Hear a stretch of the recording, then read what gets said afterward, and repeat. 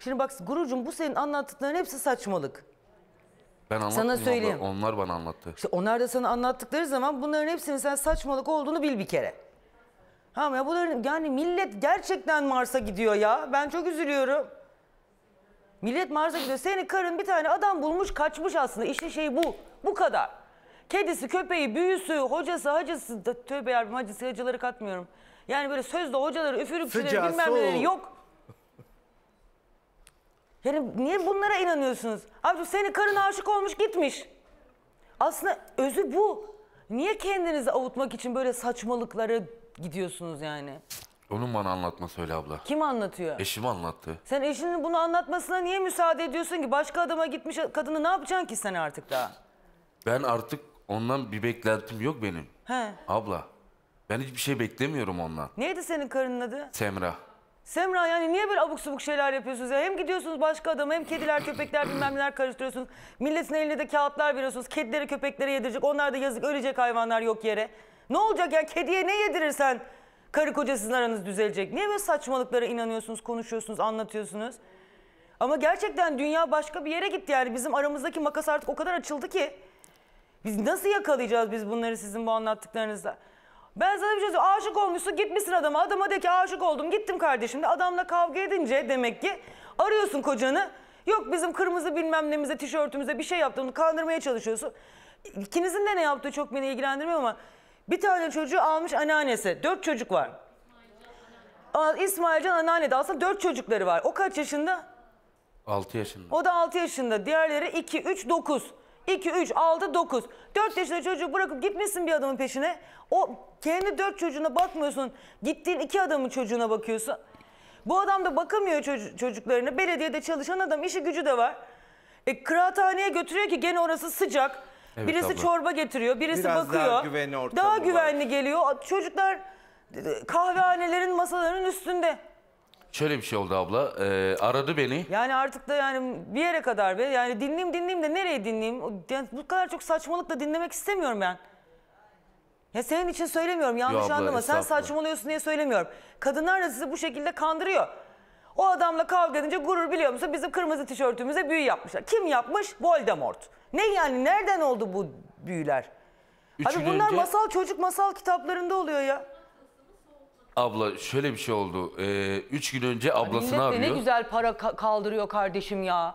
Gel seni karınla barıştırayım, gel seni kocanla bilmem ne yapayım falan diye. Ne para var bu işte ya.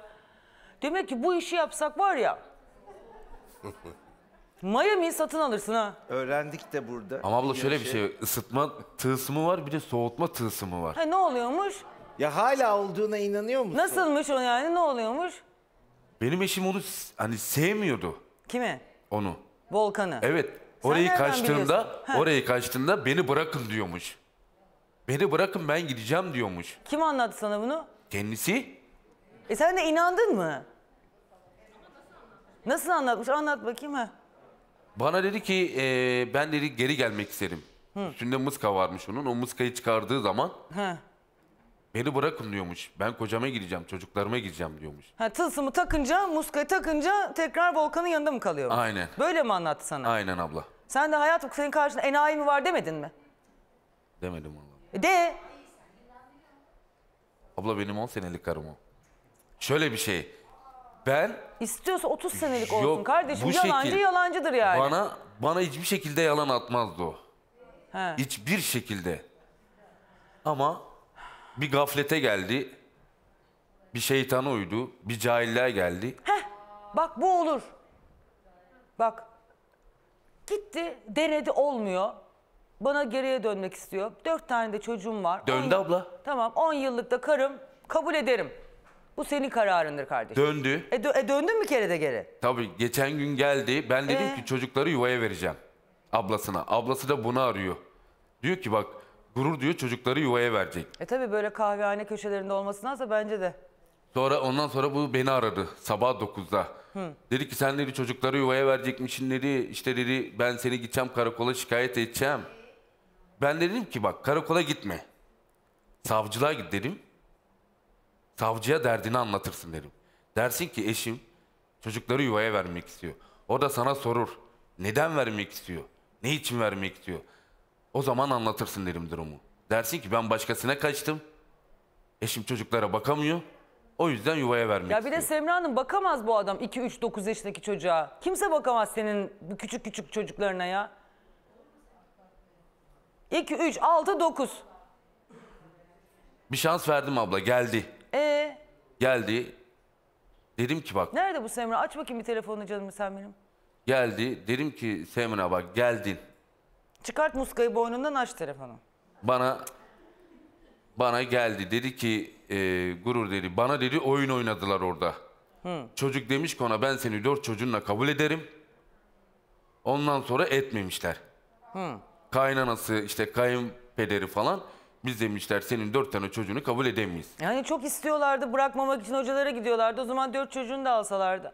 İşte iki tane bizde var demiş. Dört tane sende var olmaz demiş. E, Biz kaçını demiş, kabul etmişler? İki kişi. Kız da Abdülkadir zaten annesindeydi. Ha, kızı Abdül- da bir tek alabilirsin. Tabii bir de tek kızı. Ben ne vermedim yani. Kızımı da vermedim. Öbür çocuğumu da ondan aldım. E, o zaman yani yakında mı bu volkanda? Ayrabol, Tekirdağ Ayrabolu'da. Siz neredesiniz? Tekirdağ, Çerkezköy. Yakın mı yani birbirine ikisi? Bir buçuk saat, iki saat bir yol. Bir buçuk saat. Geldi, oturdu. Her akşam, her akşam böyle ağlıyor. Her sabah ağlıyor. Ben onun gözyaşlarını siliyorum. Ne kadar kaldı evde? Dört gün. E, dört gün ağladı sen de gözünün yaşlarını sildin. Sildim, ağlama, geçecek. Namazımızı kıldık.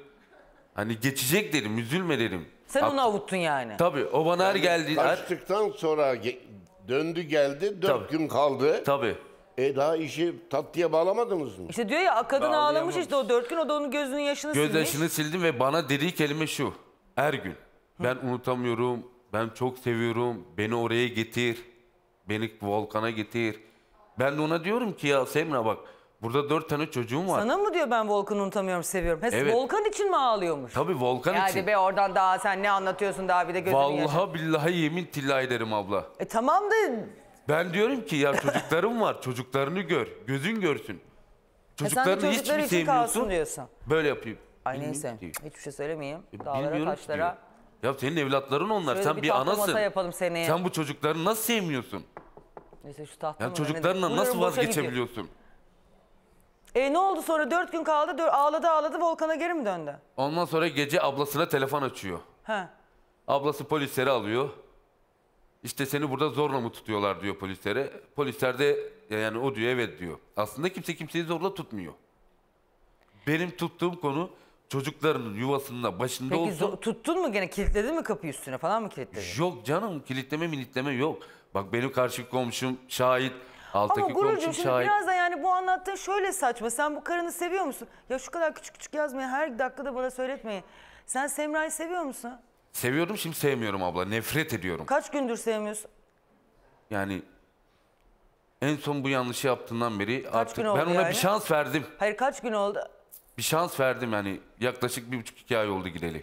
Bir şans verdim. Tamam geriye ne zaman döndü? Bir, gitti ya. Geçen hafta. Geçen haftadan beri mi sevmiyorsun yani? Yani nefret ettim yani abla. Yani tekrar dönmeseydi kabullenmiştin, iş bitmişti. Aynen çünkü benim dalımı hani kırmış ama tekrar geldi benim dalımı tuttu. Ama Gururcuğum şimdi biraz saçma değil mi? Yani bu da sonuçta senin hani komşunun kızı değil ki. Senin dört çocuğun annesi. Geliyor eve ağlıyor ağlıyor. Ben Volkan'ı seviyorum, Volkan'ı özledim diyor. Sen de onun gözyaşlarını siliyorsun. Geçer geçer aşk acın mı diyorsun yani? Öyle dedin. Evet abla. E ama yani ya o kadının da sana saygı duymasını nasıl beklersin? Ne konuda abla saygı duymasını yani nasıl bir şey?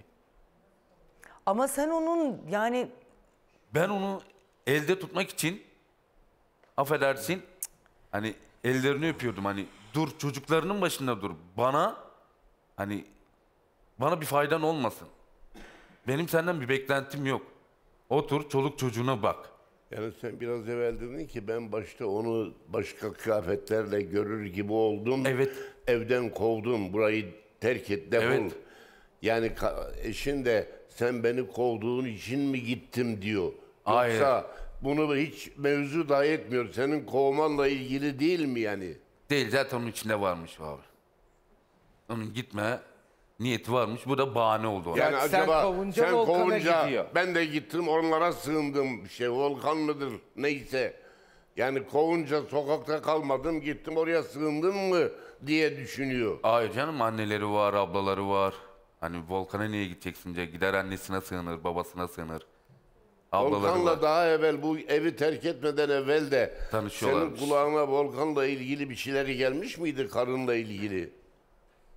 Şöyle bir şey, eee, bir kere telefonda mesaj olarak şey yaptım. O da dedi ki yabancı değil ya dedi bu Mesut abinin karısı dedi. Kızıyla dedi yazışıyorum ben falan dedi. Ben de tamam dedim o zaman. Ama Volkan'la mı yazışıyor? Tabii o Volkan'mış. Peki sen niye onun telefonuna bakma ihtiyacı hissettin?